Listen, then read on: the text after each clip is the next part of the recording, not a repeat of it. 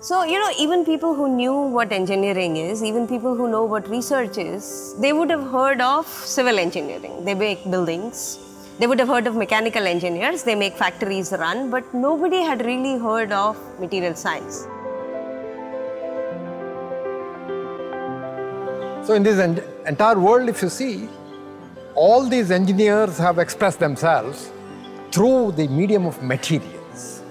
The car is made of steel, and the building is made of concrete, polymers, and so on. And then, then you have semiconductors, ceramic materials, and so on. So, all these materials are the medium by which various engineers express themselves, express their creativity. So, conversely, if you look at it, therefore, they are all constrained by the ability of the materials engineer to deliver higher performance in the materials that they use. So we had our Bronze Age and we had our Iron Age, and what were those? You know, people figured out how to use iron to make tools. People figured out how to make alloys. They made bronze. They used it to make tools. They used it to make mirrors and things like that. And they figured that these things could make their life better in some way or the other. But the problem is that that sort of an empirical knowledge, while useful, takes you only so far. But then, you know, we want to make trains which go super fast. We want to fly aeroplanes. That's where engineering comes in. And that's where the science comes in. You have a jet engine which is extremely efficient.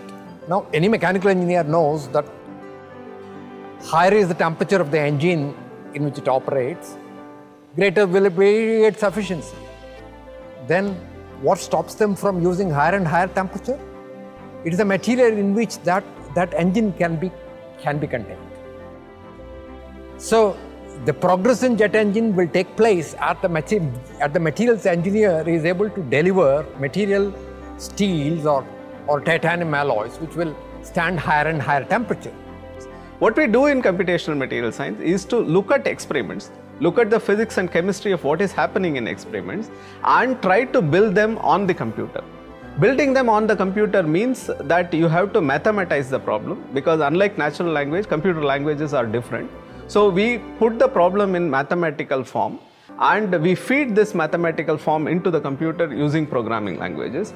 What is exciting about computational material science is that it requires not only a knowledge of materials, the physics and chemistry of what is happening, but also a good knowledge of mathematics and a good knowledge of programming. Plastic materials are generally like organic materials, polymer materials, carbon based materials, which are known to have insulating properties. They are not known to have conduct electricity.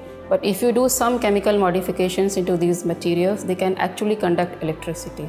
Plastic devices are once again most resi- more resistant to corrosion, so they can be on your hand, and you could be running in the rain and you could be sweating a lot, and that device still functions. We have worked for various various agencies. PSLV rockets that that is sent uh, that is sent every now and then into space. The the uh, one of the steels that's that is that's the candidate material is developed at IIT Bombay to start. With defense, we have we have great tie-up. Some of the some of the some of the materials that are used, for example, in submarines, we are working on them. Invisible cloaking is like Harry Potter blanket. That if we are surrounded with that kind of material, that is a metamaterial, we can become invisible. We will not be able to be seen by the individuals. So that property would be called the invisible cloaking.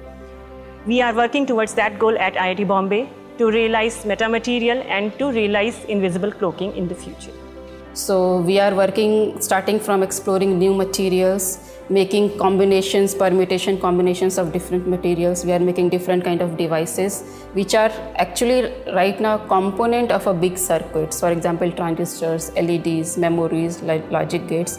And ultimately the purpose is to get full complete circuit which is just made of these materials and can be implanted or put it anywhere in a flexible form. Uh, the research we do and the teaching that we do trains the student in the tools that are needed so that you can apply it to whatever systems you want. You can apply it to biological systems, you could be designing implants, you could be designing drug delivery systems, or you could be working on the next generation of electronics, you know, things that are faster and lighter and probably even cheaper than what we have right now.